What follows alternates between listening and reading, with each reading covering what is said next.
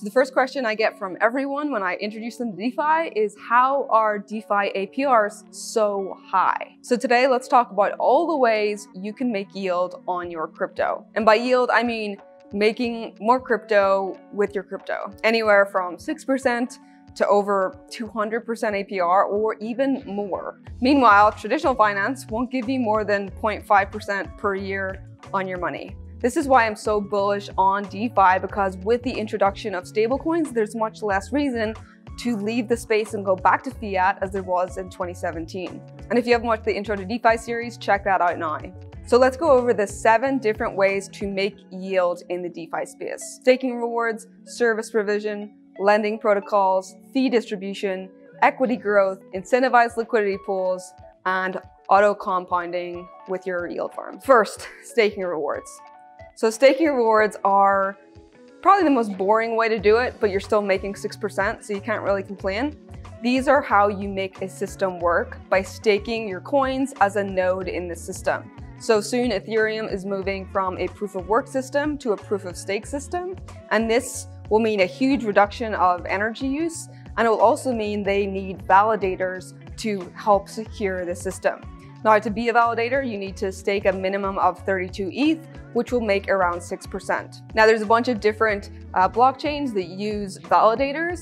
Uh, you have Cosmos, you have Solana, you have a bunch of different ways where you can just stake coins that you have in order to secure the network, and this is called staking rewards. Number two is service provision. So you can provide a service with your crypto assets through something called liquidity pooling. Liquidity basically allows a market to run. It is the backbone of DeFi, and so when you provide liquidity, you're giving others the ability to make trades between different assets, and then you're just taking a small cut of the exchange at the same time.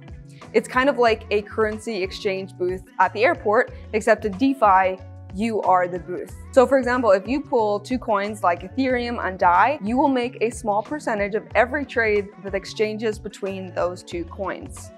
So for example, if a liquidity pool had $100,000 in liquidity and you had 10,000 in there, you would make 10% of all fees. Now, when you provide a liquidity to a DEX, a decentralized exchange like Uniswap or Sushi, you are providing a service to its users who want to swap those assets. So both platforms charge a 0.3% fee for each transaction. On Uniswap, that all goes back to liquidity providers, on Sushi, it's done a little differently, which I'll get into shortly. Number three, lending protocols. So much like in the real world, a bank takes a deposit from a customer, they will give you maybe 1% interest, then they'll loan that same money out to another customer for 7% interest. This is the same thing a decentralized protocol will do, except they'll do it with a smart contract in the middle to reduce cost and increase efficiency. So there's no man in the middle like organizing stuff, it's all done through code. Now DeFi, the lending protocols work as over collateralized loans. So if you can't pay back the loan, they will liquidate some of your assets to pay it back. So you're never borrowing more than you have in there. And the price of borrowing an asset depends on the underlying need. So one person's demand or need for borrowing that asset is another person's yield on the asset that they are lending out. One way that it's used often is investors who are extremely bullish on an asset may want to borrow stablecoins to buy more of a you know, more volatile asset. So they're taking a risk and betting on that asset going up and the lender of the stablecoins, they get paid either way, so it's much lower risk, but also much lower reward. So for example, in 2020, when I was first getting into DeFi, I was extremely bullish on Ethereum, and I took out some compound finance loans to buy more of it. So I borrowed a stablecoin, um, USDC or DAI, or both, and I bought more Ethereum. Now at the time, Ethereum was under $400 and I knew that the all-time high was 1500. So I'm taking a bet that that is going to run at least up to where it previously was. And given that it ended up going over 4,000, that means the asset growth on that Ethereum bet was much greater than the interest that I had to pay to borrow those stable coins. But Compound that lent me those stable coins, they were getting paid regardless of what if Ethereum went up or went down. And luckily I paid off those loans before the price crashed. Now this is compound finance and as you earn compound, it will come up here. And say for example, you put your DAI coin in here, you'll see that you're making 2.73% on DAI and then you're also making this equity on the compound. So these are the tokens you're farming as you are lending out your assets. Same thing in Aave. There's different APYs, so you'll deposit, you get 3.05%, and then they will lend it out at 4.24%. So they're making up the difference. And then you're also making 1.42% APR on their token. So, you know, altogether you're making 4.5% on a stablecoin. Fee distribution. Some platforms charge fees for services and then will send some of their token holders back some of these fees as a dividend. A good example of this is Sushi. So I mentioned earlier in the video that they do things differently than Uniswap. Both Uniswap and Sushi offer a 0.3% fee for swaps and 0.25 is given to their liquidity providers and the remaining 0.05 is distributed to sushi token holders. So if you stake your sushi in something called Sushi Bar, you'll get tokens called X Sushi back and you will earn these fees as a dividend to your staked sushi. Unlike Uniswap, everything goes back to the liquidity providers. Another protocol that does this is Curve Finance, which is a complex exchange that focuses on stablecoin swaps or, or coins that are equal in value. And what they do is they distribute fees to their token holders, but they do it a little differently. They will reward you more APR the longer that you lock up your tokens. So if you decide to lock it up for a year, you'll get 5%. If you decide to lock up your tokens for four years, you get 20%. So they do it as an incentivized structure to keep people locked in for longer.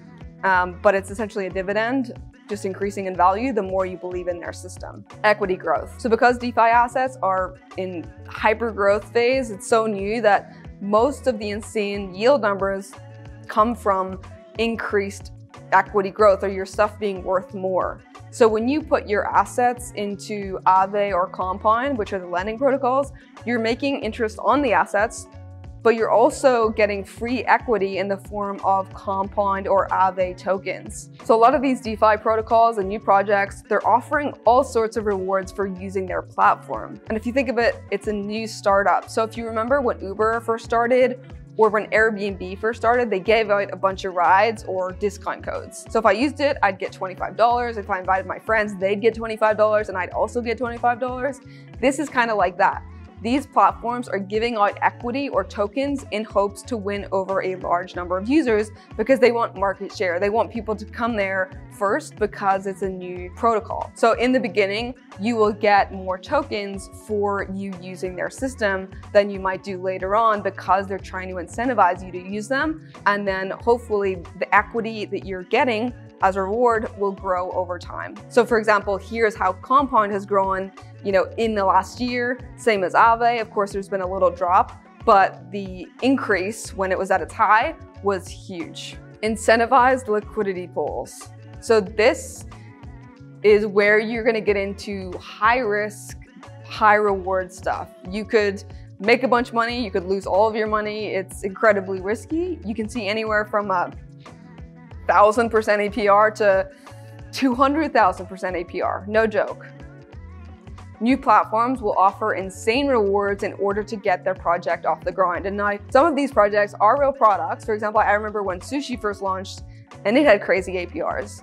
However, what often happens with these projects, if they are too aggressive with their rewards, is that they print too many tokens and as people are farming them, they are selling them off and the APR can't keep up with the inflation. So if the price per coin goes up, then the yield paid on your crypto gives you new coins and now you have more coins that are worth more money.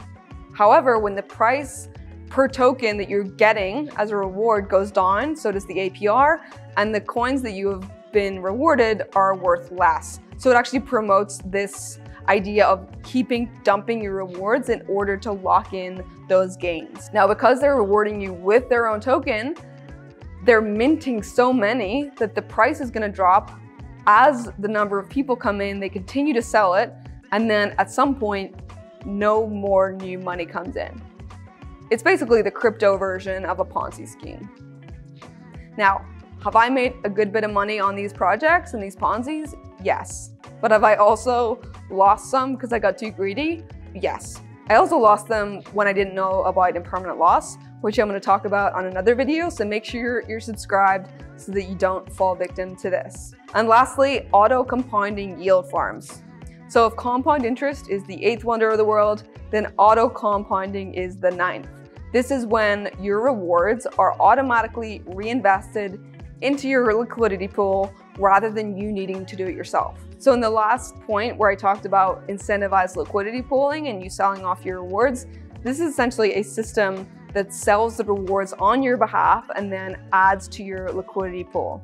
So for example, say you are farming with stable coins. You're farming USDC and DAI coin, so you're not worried about fluctuations in price so much, and you're getting this magical token.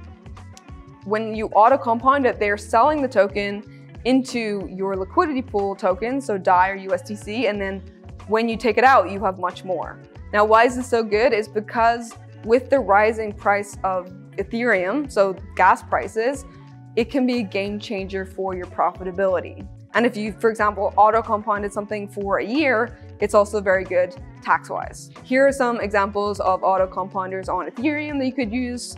Okay, so this is Pickle Finance. This is on Ethereum and it, like it says, auto compounds rewards to boost yields on your behalf. So if you come in here, you can see all the different farms that they have and what they will auto compound for you. So you can see here that they're getting 134% on ALCX ETH.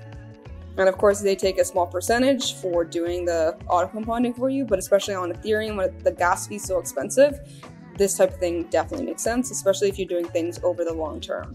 Now on Polygon, which is a, another network, you can see here that says APY, and this is basically the interest when they compound uh, however many times per day. Um, whenever it says APY, that's basically taking the APR and automatically reinvesting the rewards all the time. So the regular APR is 135, but because they're auto compounding it all the time, it's 328. There's also Eleven.finance. This is on both Polygon and Binance. And you can see here that they're, you know, these two is 197% APY. And that's, you know, 0.3% APR per day. And this is the fee structure. So if you take it out, it's 0.1% fee and they'll take 3.5% of the profits. So for all of the money that they reinvest for you and get profits on, they'll take 3.5% on that, which is actually not bad at all if you compare it to traditional systems. And that's it. Those are the seven ways to make more crypto on your crypto. And as DeFi matures, those yields will definitely drop over time, just like they do with startups. Uh, same way when Uber hit critical mass, the reward levels dropped. And also, I've never, have you met anyone recently that doesn't know what Uber is? It's like, you're not finding anyone to give you more credit. So when we hit critical mass in DeFi, that's also going to happen. However, we are still still so early on the DeFi trend. It pretty much only started, you know, summer 2020 was DeFi summer because that's when everything launched and it is still the wild west out there.